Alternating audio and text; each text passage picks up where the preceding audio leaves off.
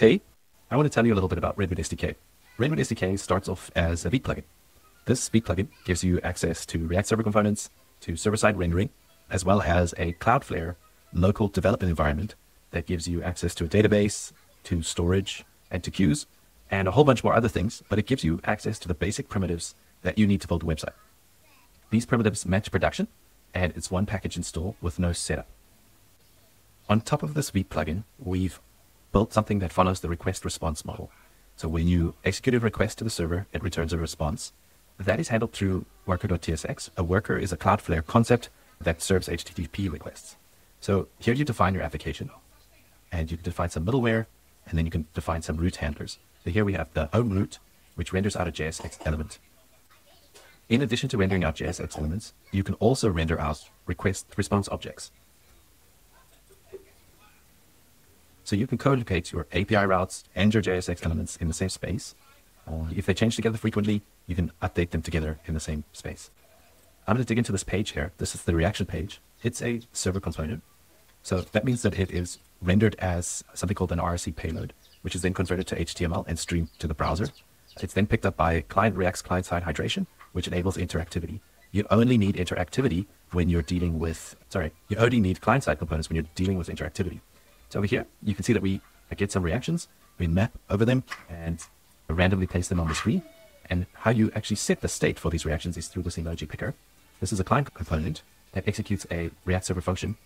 So there are two ways to do it. The first is to click, which adds a reaction, sets the state of the reaction on the server. So I click on this, it adds the heart reaction to the server. And you can also hit a key, one, two, three, four, etc., etc.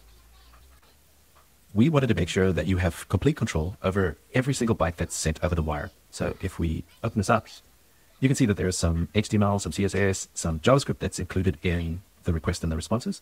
With Redwood SDK, you control exactly what goes over the wire. So over here, you can see that we're rendering that document. So what that means is if this route is matched, it'll place this page into this document. This document includes the client-side hydration. So if I comment out these two here, and I refresh this page, you'll see that we only get CSS and HTML. There's no interactivity anymore. This is super handy. Say, for instance, you're building a blog or a marketing page and you don't want to include interactivity or any kind of JavaScript, you can just send HTML and you can do it within the same app. So if you were to create another render block, include some routes in there, say, for instance, for your dashboard or your app site, you could do that and another one for blog. You have full control. Not only do you get client-side interactivity, I've just re-enabled that, you can also upgrade this client-side interactivity to be real-time using Cloudflare's durable objects. So I'm going to open up the client.tsx file. That's the one that's imported here in document, src client.tsx. Oh, where's that now? And I'm going to upgrade this to be real time. So I've got a little snippet here that I saved in here. Just go to that file and then replace that. So now instead of just initializing the client, we're initializing the real-time client. What this means is that when you perform a server action, React takes the payload and sends it down to the client, and that client then updates its state. If me and someone else are on the same page, so I'm going to reload this. Oops. And I'm going to duplicate this page here.